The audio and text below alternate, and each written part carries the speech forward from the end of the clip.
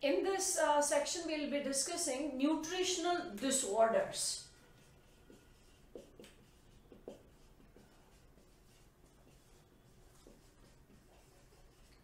And we will classify these disorders into two categories. One, when these nutrients are in less amount, that is the deficiency or malnourishment related problems.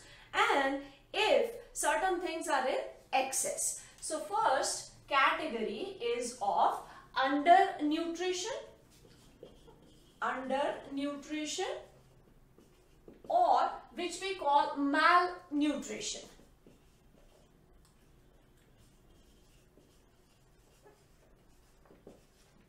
Few of these diseases we have already discussed. We will uh, sum those up in short, but we'll take the most important ones here. The first is kwashiorkor.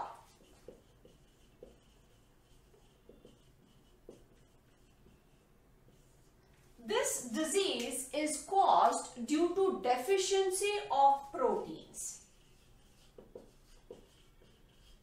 in the diet or uh, and uh, it is seen in early age. It affects children of the age 1 to 4 years.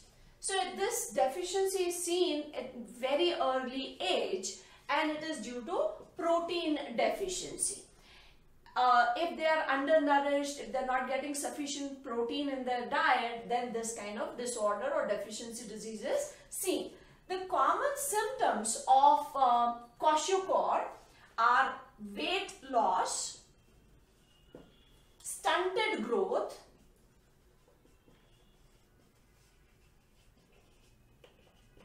mental uh, low or dullness. We cannot uh, directly call it retardation, but there is low IQ or mental dullness. And it is characterized, these are the symptoms. The characteristic, how we identify whether the child is suffering from kwashiorkor or any other disorder, here there is a very specific thing they have extremely thin body but the belly is protruding. Protruding belly. The abdominal region is bulging. Plus there is edema on face and limbs. So these are two characteristic things. They are extremely thin but the belly or the stomach part or the belly region is protruding, it is large, bulgy and they have edema on face and lips. But otherwise they are very thin, uh, very dull and uh, the appearance itself gives us a hint that this is due to protein deficiency and the disorder is known as kwashiorkor a similar one but that is due to another deficiency. It is called PEM, protein energy malnutrition. And the disorder is known as marasmus. This is actually a PEM disorder. PEM stands for protein energy malnutrition. Now, protein is the building block. That means all the cells, bones, everything for the formation, we need proteins. Here it was only protein deficiency, so the building block is not there and that is why we saw the stunted growth. In this case, protein is also less and energy producing or energy giving substances, that is fats and carbohydrates are also less. So it is carbohydrates and fats both are less. So basically it is protein, carbohydrate and fat deficiency which results into this uh, marasmus or disease or the condition. Symptoms, stunted growth, low IQ and this is seen in case low IQ and it is seen in very very early age. It starts from the age of one year. So it is seen even in early and when we are talking of IQ here not uh, the intelligence that we are talking of it is the responsiveness. Uh, every child has to meet certain milestones as the child grows. So here the milestones are also attained very less or very slowly and they are extremely thin, so thin that even the ribs and the bones are visible. The reason for such an extreme thin structure is energy is provided by carbohydrate. So that carbohydrate is in the muscle glycogen that gets broken down because they are not getting that supplement from outside. Fats which are deposited under the skin that are also used up for all that requirement of energy. So there is no protein for synthesizing new cells or tissues. Energy providing substances are also not available and that is why they are extremely thin, so thin that ribs are visible. So in both the cases, kwashiorkor as well as marasmus, there is protein deficiency. But the major difference is here it is only protein deficiency and we have seen that proteins like albumins, they are able to hold water in the blood. If that deficiency is there, the liquid oozes out into the tissue and accumulates resulting into swelling which is known as edema. So there is protein deficiency and that is why this, these two are the characteristic symptoms. In case of marasmus, all three things are missing. Proteins are not there and energy giving substances that is carbohydrates and fats, they are also not there. And that is why the children, they get extremely thin, so thin that you can even count the number of ribs. So whatever is under the skin, that is fat, muscle, everything gets used up. And they would have less mental development also. So these were uh, the two main disorders and we have already talked of few more uh, disorders. We talked of xerophthalmia, so we'll just have a list written here. Xerophthalmia that is drying of eyes due to deficiency of vitamin A. Then we have talked of night blindness which is again due to deficiency of vitamin A where the dim light vision gets affected. We have also talked of uh, the anemias uh, that is uh, pernicious anemia and megaloblastic anemia. So we'll just write down the list. Pernicious anemia which is due to deficiency of vitamin B12. In case of pernicious anemia, anemia is there that because the RBC and the hemoglobin content is affected. But when we talk of pernicious, the RBCs are large, immature and enucleated. That means without nucleus. We know that RBCs, when they are immature, they are with nucleus and when they mature, they lose their nucleus and the complete space is occupied by hemoglobin. Here they are large, they are immature and they have or rather sorry without nucleus. They are without nucleus. So immature RBCs have nucleus. In this case they are immature but they do not have the nucleus. This results into pernicious anemia and that is due to deficiency of B12. Next is megaloblastic anemia.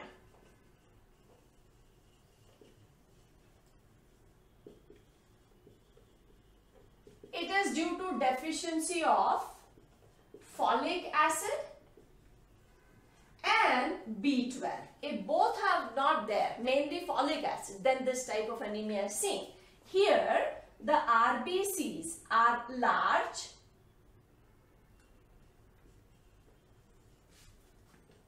immature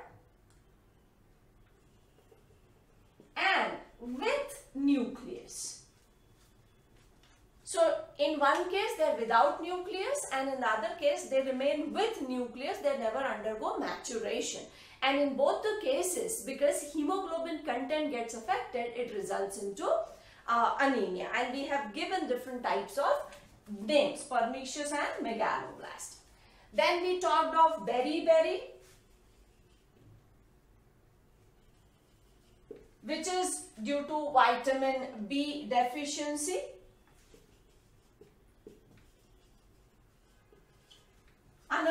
Disorder we discussed earlier was pellagra, which is also known as 3D disease. 3D disease and that is due to deficiency of niacin. Another disorder which takes place is known as thyroid or rather let us write the disease here goiter and that is due to deficiency of iodine because in deficiency of iodine thyroxine hormone formation is affected and the thyroid gland enlargement takes place which is known as goiter. We have discussed all these diseases. We also talked of scurvy which is due to deficiency of vitamin C and it results in bleeding gum, delayed wound healing, rickets and osteomalacia and osteo which is due to deficiency of vitamin D. Rickets is seen in case of children and osteomalacia is seen in case of adults. So these we have already discussed and that's why we just wrote down their names and you know it was a brief uh, uh, recap of it. The two main are kwashiorkor and marasmus. Now we said we'll classify these nutritional disorders into two categories. One which is undernourishment or malnourishment. But if an individual takes certain things in excess, then that is overnutrition and there are certain diseases like or disorders like obesity is one, hypervitaminosis is another one and fluorosis. So let us discuss those now. Let us now talk about the second category under the nutritional disorders. The first one was when the nutrients are in less concentration or amount that is deficiency related or malnourishment. Here we are talking of over nutritional disorders.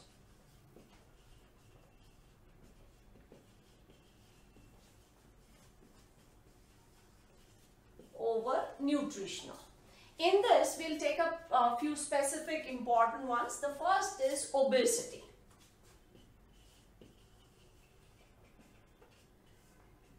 Now this is due to taking too much of carbohydrates and fats and this fat gets deposited. Now there are many reasons uh, for obesity. Not only nutritional uh, excess but the lifestyle also. If you consume uh, excess of fat and carbohydrates and if you're not able to burn it, obviously that is going to get deposited in the form of fat in the body.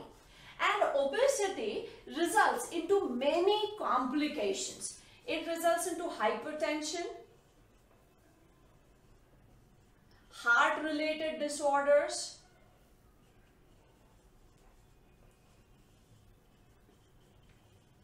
Plus, because of this excessive weight, even the joints, they also uh, start creating problems. So, joints, related disorders.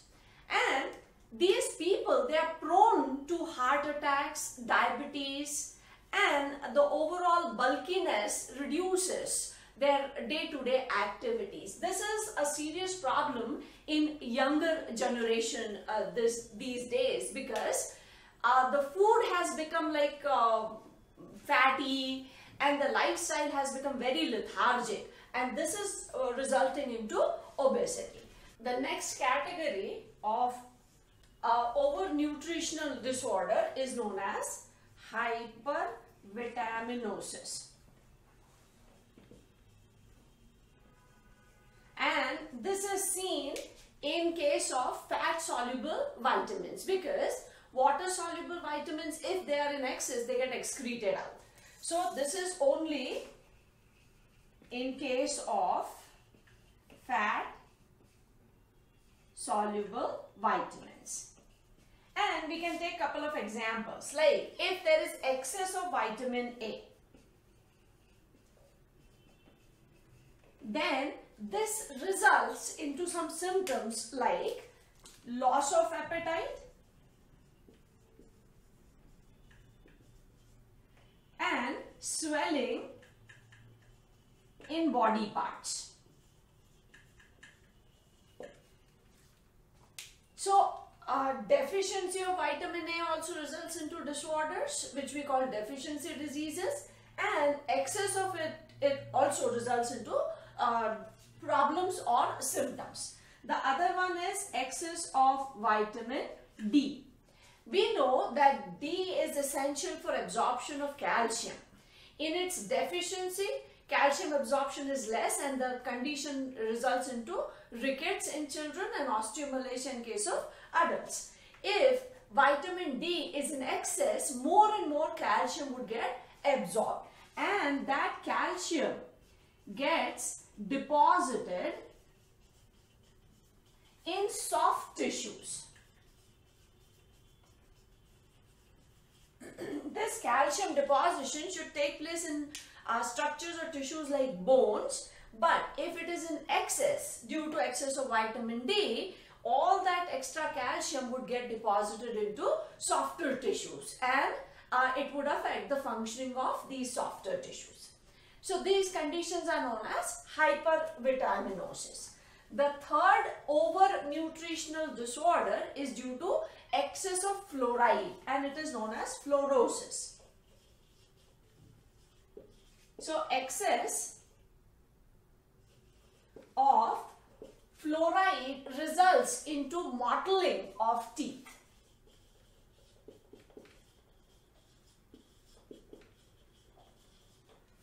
Fluoride is required for formation of teeth but if it is in excess then teeth they get deformed there is yellowing of it and they become brittle and start to fall off and because of that there are deformities in teeth which is known as mottling of teeth.